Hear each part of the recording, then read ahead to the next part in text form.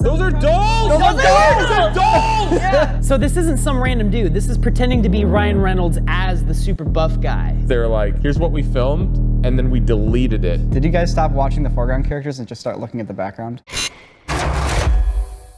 Thanks to Vessi for sponsoring this video. Stick around so you can see how you can get $25 off your order today. Hey everybody, welcome back to another episode of Visual Effects Artists React. I'm joined by Wren and Sam, and we got some great clips to look at today. We got Space Jam, we have Darby O'Gilly and the Little People. What? That's, that's what a Darby title. O'Gillian.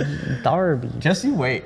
Also, Loki is finally completely released on Disney Plus, so we are finally going to be diving into that. You know, it's a really exciting time for movies because in the last two weeks, I've seen two movies in theaters, and it's awesome. I saw Black Widow, and I saw Old just for the fun of it. Does anybody get old? Oh, they get old. Old AF. Old af. Oh boy. All right, let's watch some clips. You picked up the Tesseract breaking reality.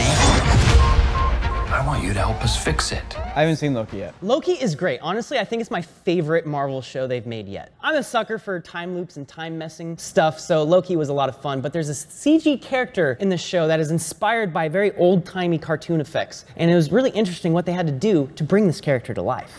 And that would lead to the destruction of the timeline and the collapse of reality as we know it. There's lighting. Yeah, there's interactive lighting. Oh, is the desk completely CG? Watch it. Where's your manners? Oh, hey, quit it. So one of the challenges they found for this was trying to marry the real world photography in camera with the digital version of Miss Minutes because she's transparent. They actually had this really cool little LED light system that they had that they would actually move around to get the interactive lighting on the set. But then they would have to paint out that light, and what people don't realize is it's not just simply a matter of painting out a light. Yeah, like they're filming it in a dim office. Like you're setting yourself up for a challenge. They went through a lot of effort just to recreate the background so that it looks normal, and then they would relight it after the fact. So I don't actually know how useful this light ended up being mm-hmm. at the end of the day. Look at the actual color quality on the ground, on the light around it, and then look at the final thing. Oh, that was just a new shot. It's all CG. It's basically a new shot. Yeah, exactly. Hold on, I don't know. I don't know what they're saying, but what I'm seeing is they're like, here's what we filmed, and then we deleted it. No, that's exactly it. it was purely for reference. You can see her reflection on the tea kettle. And then when they show the actual light that they built, it's a completely different reflection. So they end up having to recreate so much of what you see. You know, that's the thing. We're always talking about the best looking images are when you combine practical and digital. The problem is that it usually doesn't work as seamlessly or as well as you might imagine it should. At the very least, you get the lighting on Tom Hiddleston. That is true. One last thing from Loki that I want to touch on is this idea of blue screening anything. That looks like a tough blue screen right there. Granted, this is probably taken on a less high quality camera than the one they're filming with. The sensor is probably going like, whoa, that's a lot of blue, and making it look like way crazier than it does in the footage. That's a good point. That might actually be the case. If I was sent the shot to key out the blues, but I gotta keep the ground, I gotta keep the people, what do you do? You cut it out by hand. Cut it out by hand. That's the answer. When it comes to keying something, it's usually a whole bunch of talented roto artists. Yeah. They're going in and they're making very accurate and detailed track mattes the same way that we've done for a hundred years. If they tried to swap that out with a green screen, yeah, it'd be easier to key out, but now you're introducing trouble with a green spill. So by keeping it blue, yes, it's gonna require a little bit more manual work, but the end result is gonna look better. I think there's over 500 shots just in episode five. Every shot is basically movie level caliber. They're all pretty impressive. I mean, Disney probably went, you have $10,000 per second. And they're sitting there looking at every second of footage, be like, I have $10,000, you want to try to make this one second better? And they did that for every second of the episodes. Wait, how much money is that? That's a lot of money. I think that might be a little more money than you can handle. Let's find out actually. 50 times 60 times 60 times $10,000. 1.8 billion, little high. Let's knock that down. $1,000 per second. the most expensive movie ever made. I, I do find it pretty fascinating, though, that the entire budget for Loki was around $150 million. And that's the budget of a pretty big blockbuster movie. 150 million in production costs. They actually might have been more expensive. $1,000 per second for 55 Hey minutes. Siri, 150 Is 100 divided It's by $4,000 3,600. Episode is No, I was 15 doing minutes it long six. times. I was saying Wait, six. $7,500? No, I already did Wait, that. no, no, no, no, hold up. No, look, each episode is No, no, divided wait, by hold up. 15,000 Hold that. How long are seconds. your episodes? 50 minutes? 50 minutes. So it's $500,000. So then divided by 60. 8,333. I know. It was 8,000. It's almost $10,000 a second. I Oh called my, it. you just from did the math gut. wrong. You just did the math wrong. No, I didn't. I got the same. I got the exact same number you did. No, no, I know, but before when you got the 1 billion number, your thumb slipped or something. Yeah. When I gut guessed it was $10,000 a second, I actually was not that far Okay, off. so anyways, full circle, Niko's right. We're so beyond VFX artists react right now. No, Look, but this is- VFX artists have to deal with money. This is totally VFX artists react. I can be honest. There's a part of me that hates how expensive this stuff is. Yeah, it's, uh, you're just jealous. I'm me too. What's happening? Space Jam. A new legacy. I have not seen this movie yet. I used to like the original Space Jam, and then I actually rewatched it and was disappointed by how it didn't hold up. This means war. So I am noticing that the furry cartoon characters have a nice little layer of fur, but all the skin characters doesn't quite look like properly skin shaded, like maybe slightly lacking a little bit. I, I know. How gross and weird would it look like if the cartoon characters had this like fleshy, translucent skin? They have to have that toy feel, I feel like. Listen, Bron Bron, this is basketball, but with a spin to it. Does seeing all the CG characters, does it feel like that kind of takes it away from the cartoon aspect of things? Well, in the original Space Jam, there's a bit of a technological marvel with it, whereas Michael Jordan, who is a human being, in a cartoon world for most of it, and eventually cartoons joining him on the court, which is a bit of Roger Rabbit kind of thing. yeah, totally. a pretty big deal, like from a visual effects standpoint. At this point, not that big of a deal. When LeBron James goes to Toon World, he becomes a cartoon also. There is no photoreal LeBron James with cartoon characters. They just skipped that entirely. He's got 100% And he just went straight cartoon. Rabbit season. All right, here. Now say, I'm hunting Oh, wild. there's your Chungus. Dude, they actually put Big Chungus in the movie! Did we just catch this one glimpse of him being a chungus? there you go. That's a reference. And, and you know what else is brilliant? This ball movement, man. The visual effects are great, but there's so much happening that it makes it really hard to find a focus to the scene because I'm trying to watch the characters and they look awesome. It's just like, holy crap, there is so much happening. It's like almost a visual overload. Did you guys stop watching the foreground characters and just start looking at the background? Oh my God, there are so many characters in the background. Is this basically just Ready Player One, but with basketball? Ready Player Basketball? And with only Warner Brothers franchises. Yeah. There's the Wicked Witch. There's the clown from It. oh, hey, it's them. The family even came. Space Jam has decent visual effects in it, but there's, in my opinion, a miscalculation here. So, movie crowds. Generally, for the most part, the job with crowds is you just want an anonymous mass of people in the background. But what if you go, hey, what if I pick as many popular characters as I can and just sprinkle them throughout the crowd so the audience is just playing Where's Waldo with the crowd the whole time? What that does is it makes you immediately go, well, I'm gonna stop watching the foreground, I'm gonna start watching the background, and all the little tricks that you can do for a crowd suddenly break down. For example, oh. in the background, watch eye lines and watch hype levels. Come here, bunny. Gotcha. So Penguin, he's not looking at any of the action. Well, maybe he's noticing other characters he recognizes on the other side of the court. Everybody's hyped 100% the entire time. It just doesn't stop. Everyone's always cheering, even when people are quiet on the sidelines. People are screaming and clapping. You're right. I, it's funny because I'm trying to like look at the characters, but I'm more interested in the people they're featuring. Yeah, like there's that monkey in the background dancing. That's who I'm looking at. Yeah, the other thing is that you have to populate hundreds, if not thousands, of 3D models of people for all of those extras in the background, just so that you can then blur them all out of focus. Yeah, this is a whole third of the movie basically. I spent the entire scene just looking at the background. I forgot entirely what happened in, in actual foreground of the camera here. Yo, I didn't that's see replay anything. value. That's replay value. Yeah. But like, I wonder though, isn't that the fun part of this movie? Is noticing all those? I mean, I like trying to spot these characters. I do too. I do too. It's just it's an odd choice. So you might be able to tell which aliens are fake in Space Jam, but can you tell which aliens are fake in the Pentagon UFO videos that were recently released? Sam and I sat down to apply our visual effects artist eye to see if we could debunk and explain the UFO videos. This video is coming out tomorrow on this channel. Tune back in then or subscribe so you don't miss it. So here we have Darby O'Gill and the Little People. This is a movie about a man who I think catches a leprechaun and gets like wishes and all that kind of stuff. And here he is in their kingdom and he's gonna play them some music and they're gonna have a good old time. Wait, you're, you're telling me his wish was to rule the kingdom of leprechauns? I don't know. You'll have to watch the movie to find out. Away we go. One, two, three, four. Look at that cutie.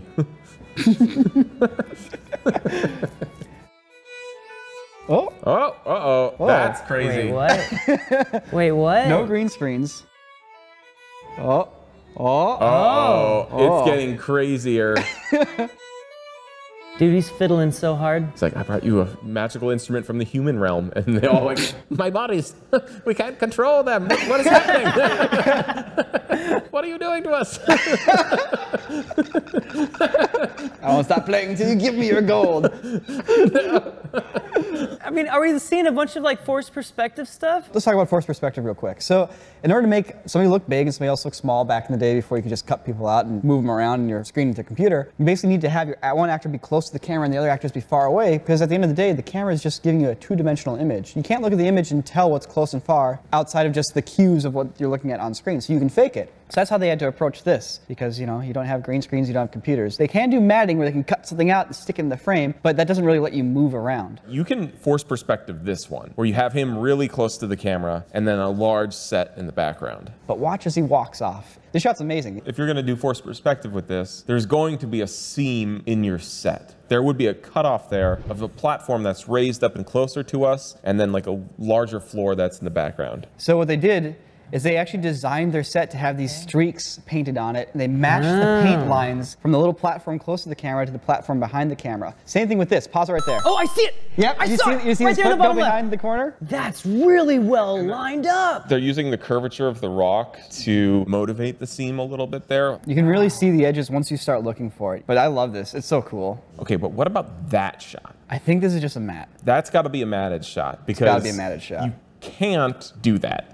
you can't do that. You can't do that. You can't do that. But the thing is, for this to be a matted shot, it means that he didn't just go stand there on the set, because that part of the set is like, that's like a 50 foot high ceiling. Wait a minute. What if he's on a platform that's hanging in the center of a room? He could be, because you think, how tall would that ceiling have to be, and how much work would you have to put into that ceiling to build that? I think that's not a real ceiling. I think that's a matte painting. And if that's a matte painting, that means that he could be standing on scaffolding, and the matte painting's just covering the entire scaffolding. Oh, is this the behind the scenes for that? Yep, that's totally a freaking platform. So the dolls in the foreground. Someone are probably dolls! holding- Those are dolls! Yeah, they're just rotating them. That's They were all just they're on sticks.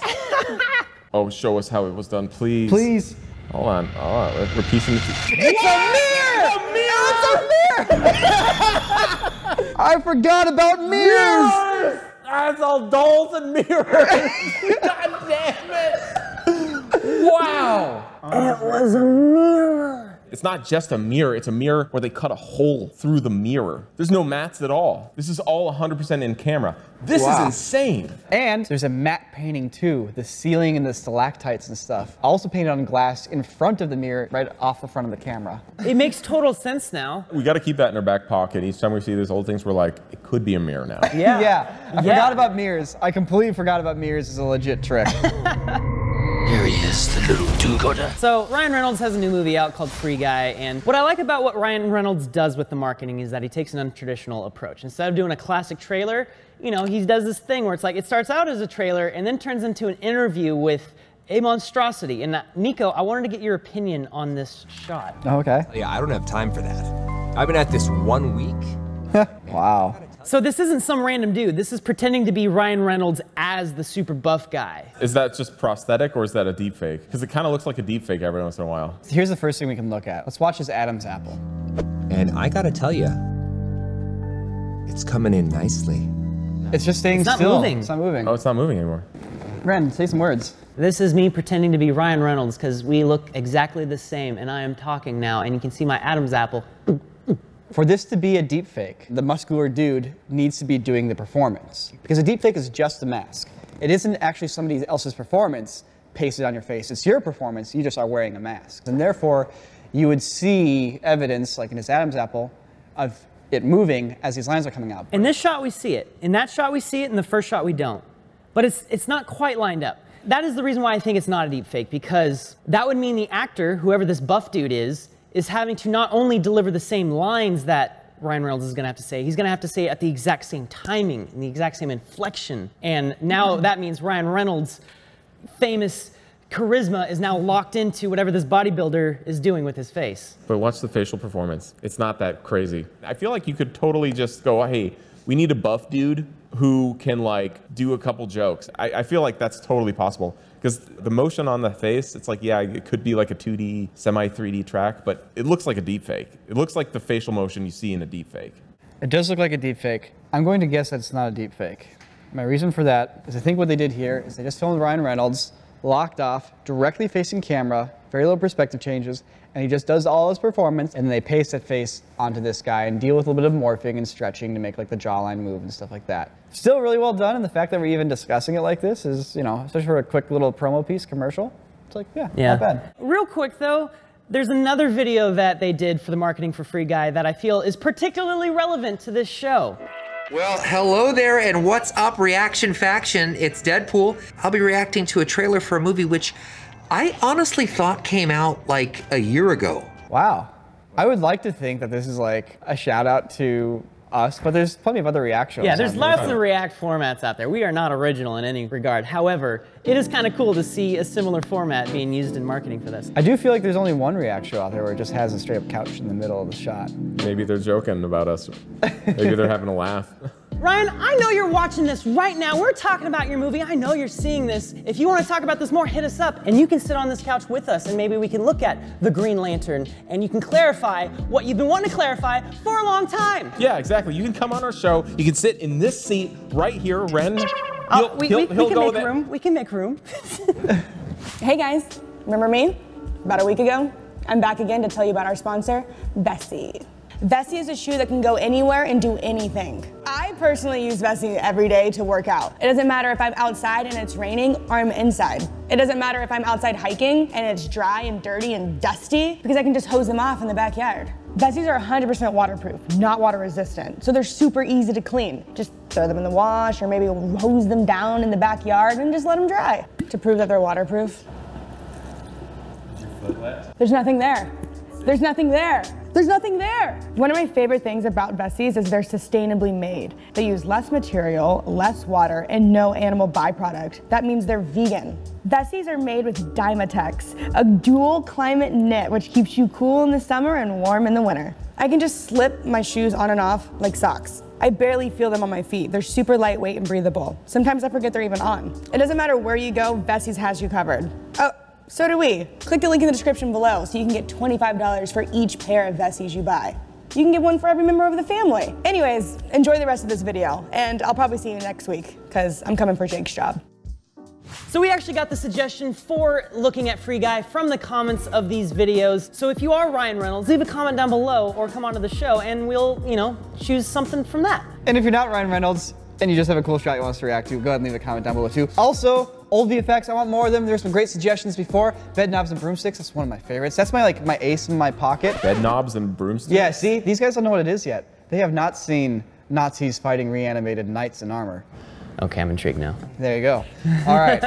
Thank you so much for watching. This was a really fun one to do. Dude, those tiny people blew my mind. Tiny people, big results. yeah. Anyways, we'll see you guys in the next VFX Artists React.